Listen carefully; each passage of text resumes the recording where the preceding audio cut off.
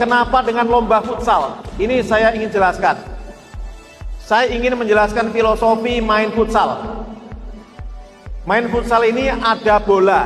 Bola ini kita ibaratkan adalah narkobanya.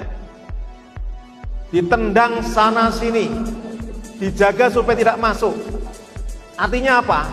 Narkoba ini harus kita tolak, harus kita lawan, harus kita serang supaya tidak masuk dalam diri kita, ada kipernya dijaga supaya tidak masuk dalam rumah kita. Maka ada ketahanan rumah tangga supaya tidak masuk di wilayah kita, di desa kita, di pondok pesantren kita. Ya dijaga.